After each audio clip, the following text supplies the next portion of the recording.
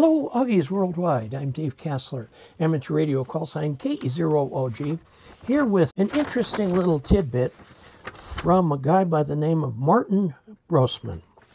Okay, he has been putting together an artificial intelligence designed for ham radio.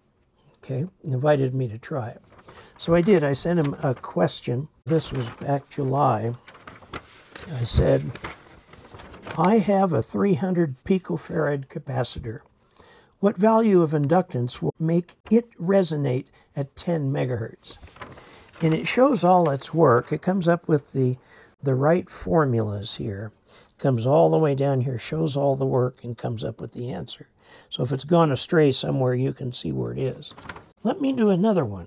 I have some number 20 varnished wire, okay, and a one and one half inch outer diameter plastic core for this thing. How many turns do I need to put in to create a 12 microfarad inductor?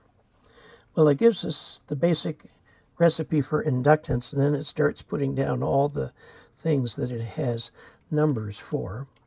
And then typical diameter, so on and so forth, down here to where it is telling me I need 11 turns of number 20 AWG wire around your 1.25 inch outer outer diameter plastic core to achieve an inductance of 12 Henry in a tightly wound single layer coil.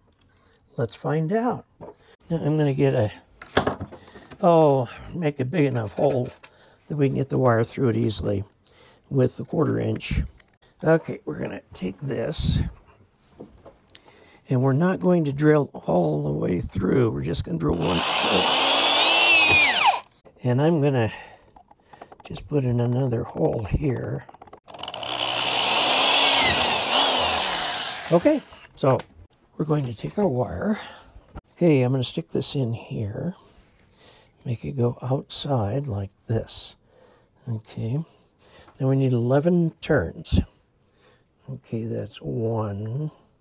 Okay,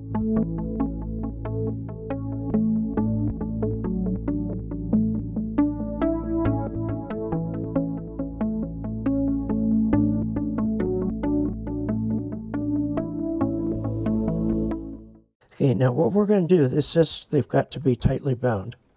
So I'm just going to get some scotch tape out and tightly bind them. Then I'm going to drill a closer hole for this wire to go out. I don't want it to unravel on me. Okay, now we need another hole. Okay. Now I'm going to take this and thread it through. Now let's just get this as tight as we can get it. We'll put some more tape down. Okay. Get this as close together as we can. So the leads are right up against each other. By the way, the form of coil that I'm putting together here is called a solenoidal coil. This is the kind of coil that's used to pull a relay up and down. And the coil that does that's called a solenoid. Uh, nowadays, you don't see these so much. They're more wrapped around ferrite beads. Okay, now we need a little sandpaper. What we're doing here with the sandpaper is just running it through so we can get the varnish off. Yeah, soldered on some extensions to those wires. And I'm not really positive just how well that's going to work. Now, there are issues with the coil. I don't have the windings right up on top of each other, and that will make a difference. I'm getting six microhenries, which is half what the calculations are. I don't see a problem with that because, I mean, this is a very jury-rigged setup. Okay, now here's something that's going to make it change. I'll put this metal thing in the middle here. How about this big metal thing in the middle? It changes it a little bit, but not much. Okay, so this is measuring as a 6 microhenry coil. 11 turns. Let's just count the turns, shall we?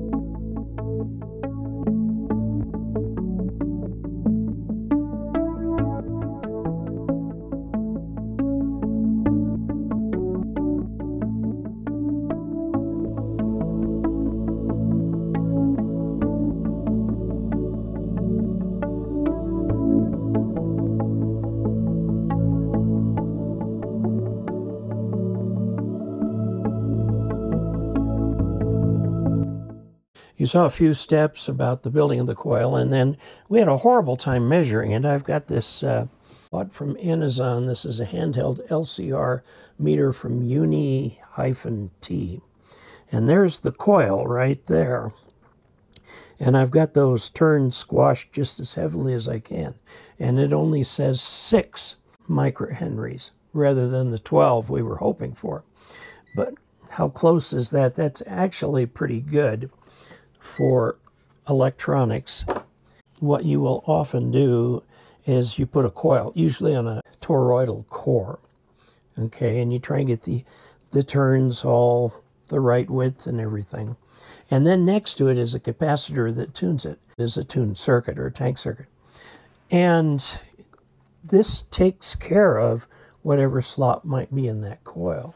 Now, I could have put something wrong in there. This box of wire says CMS Magnetics Magnet Wire 20 AWG. Okay, so that's what we used in the formula. There's quite a bit more for, for other things going on. Now the Q of the coil could be quite low. I'm measuring it at its highest frequency. Okay, 6 microhenries.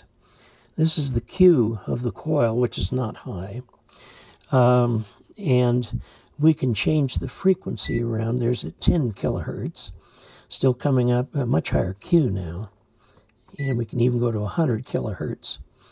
And for whatever reason, it's not measuring. What this shows is that when you get parts that you think are one value, they will invariably be slightly different from that model. When you go to wind something yourself, follow the instructions. There's usually some way of tuning it Sometimes you spread the turns apart, sometimes you push them closer together, and you get different inductance values. So we tried a few different things, and we're off by a factor of 50% from where it should be. I don't like that, but uh, it looks like that's the reading we're going to get. Anyway, there you have it. We tried, we made something. It was not what we thought it was. We could modify it with more turns so that the meter would read more. You can't get them any closer together than they are. I've got them right butted up next to each other. Now the Q in there is a measure of the resistance that would be in a tank circuit. Okay, because the Q does not detune, but it does make the bandwidth broader. So a wider bandwidth, you get a different effect. So Martin, who put this thing together, encourages you to try it. It is available at, and we'll put this down in the uh, bottom below as well as on the screen, chatgpt.com slash g slash g hyphen r cap f a l j w cap r cap y cap z hyphen amateur hyphen radio hyphen ham hyphen radio hyphen answers hyphen virtual hyphen Elmer. So rolls off the tongue just right for you. Uh, it's in, in an experimental stage, and I'm sure when he gets more into it, he'll have a more direct address. But give that a try. We gave it a try and came up with, uh, oh, a coil that just didn't quite work. But we were by factor of two. Now, in electronics, when you're choosing components, it's not unusual to have things be off by that much. In fact, transistor, the transistor alpha is the amplification factor of it, and it varies wildly from transistor to transistor to transistor in the same batch. So you can't design around alpha. What you design around is beta, which has to do with the amount of current that comes in from the emitter lead and in from the base lead and goes out the collector. And it's a lot less variable between transistors. So you can use more standard values of beta. So, and, and, and, a lot of components like that, I think what they do is they make resistors, measure them, and then mark them. so now, one of the things, you notice that I had to change frequency on this thing here. A coil is a DC short, but as soon as you start alternating current, you start getting a buck current back that, that lowers the amount of current. And the amount of current that's going through here at any given time has to do with the frequency.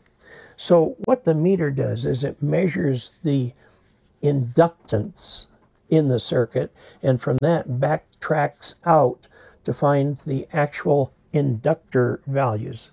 So you go from a reactive thing to going back through the formulas till you find L, which is the inductance of the coil, which is a property of the coil. And it should not vary with frequency, but it does. Because as you know, I've got these uh, windings fairly closely held here. There's capacitance between those windings that can actually be measured. And in fact, at a certain frequency, this will be a tuned circuit because it has both inductance and capacitance. Lots of fun things going on. Uh, there's some great people out there who make lots of things, and I'm sure one of them's going to come back to me and say, You forgot this. And I'll go, Yeah, I did. So I'll keep this, and we'll come back to it at a later time. So until then, 73.